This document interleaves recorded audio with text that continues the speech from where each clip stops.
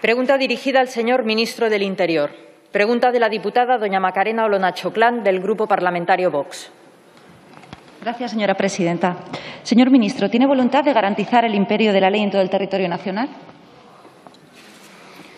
Señor ministro del Interior.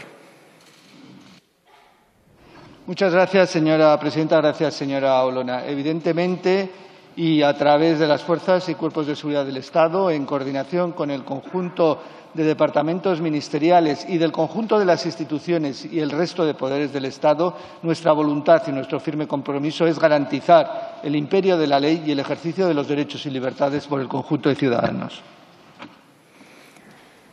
Señora Olona Choclán. Señor vicepresidente segundo, en Vox las patadas en el culo las pegamos con la ley en la mano. Y eso no sé si es tener más o menos agallas, pero puede preguntarle a los golpistas catalanes encarcelados o al ya expresidente de la Generalidad catalana si escuecen, y le aseguro que sí. Ministro, no quiero desatenderle.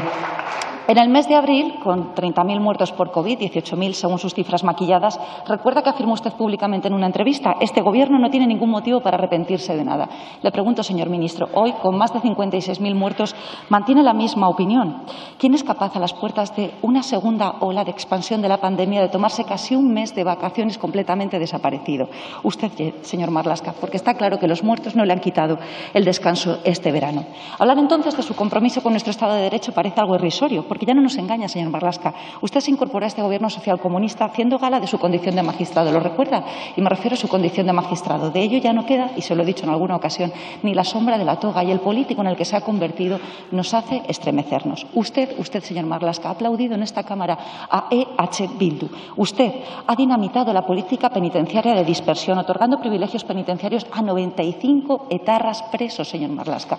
No presos vascos, 95, de un total de 220 que cumplían penas de prisión en el año 2019. Usted forma parte de un Gobierno junto a la extrema izquierda que tiene como socios preferentes a los golpistas catalanes y a los proetarras vascos. Hoy negocian presupuestos por presos y recriminan en actos públicos que se diga viva el rey mientras consideran libertad de expresión la expresión goraeta y ha abandonado por completo a nuestros servidores públicos, señor Marlasca, singularmente a nuestros funcionarios de prisiones y a los agentes de las fuerzas y cuerpos de seguridad del Estado. Los partidos del Gobierno socialcomunista son los que han alentado que se cometan desórdenes públicos en la Comunidad de Madrid estos días por puro interés político. Y las consecuencias las han pagado los de siempre, nuestros agentes. Fue la UIP quien tuvo que preservar la seguridad de la Asamblea de Madrid este pasado 24 de septiembre. Señor Marlasca, ¿dónde están sus palabras de público reconocimiento y apoyo?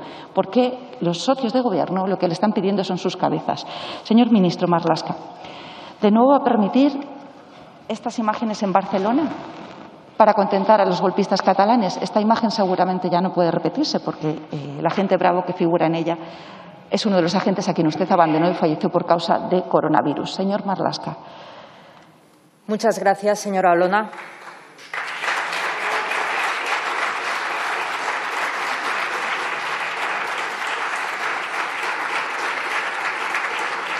Señor, señor ministro del Interior. Muchas gracias, señora presidenta. Gracias, señora Olona. Veo en su exposición una confusión conceptual grave, lo que ya es habitual en las mismas, y un cierto desorden en la exposición. Quizá es una preparación de esa moción de censura y un nuevo eslogan hacia el señor Casado, realmente el verdadero destinatario de la misma. Pero le diré, respecto a la jefatura del Estado, máximo respeto institucional y reconocimiento a la labor del jefe del Estado por parte del Gobierno, por alguno de los de ese desorden conceptual y de temas que usted ha abordado.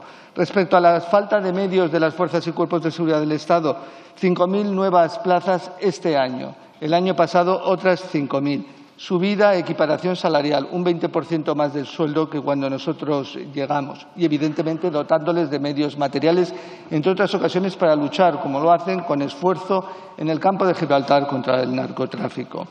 Mire, usted también refiere que cuestiones sobre los movimientos de, de presos de la organización terrorista ETA condenados por los hechos más lacerantes cumplimiento de la legislación penitenciaria. El Estado de Derecho venció a la organización terrorista ETA. El Estado de Derecho aplica la ley en todo momento. El Estado de Derecho no es vengativo. Quizá para eso, para usted le resulte ajeno el cumplimiento de la ley. Para nosotros no lo es. Eh, habla usted de, muchas cuestiones relativas a ese respecto. Nosotros seguiremos cumpliendo, y le vuelvo a decir, cumpliendo el Estado de Derecho. Seguiremos coordinándonos y participando con el resto de poderes del Estado, con el Poder Judicial, con el Poder Legislativo, con este, con ustedes también. Con ustedes es muy difícil, es imposible. Con propuestas como las de ayer en el en el Ayuntamiento de Madrid, donde siento decir que el Partido Popular e incluso Ciudadanos se sumaran a una iniciativa tan perversa y tan eh, en fraude de ley, de una ley que busca el reconocimiento de todos, el reencuentro de todos, y ustedes lo único que quieren es el desencuentro.